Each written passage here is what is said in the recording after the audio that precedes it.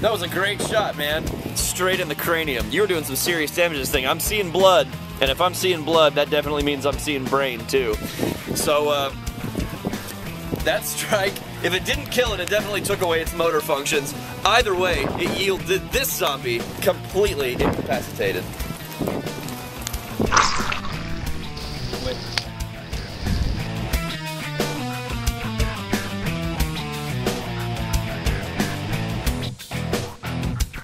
All right, man. That is that's brain right there. Check that out. It's all squishy.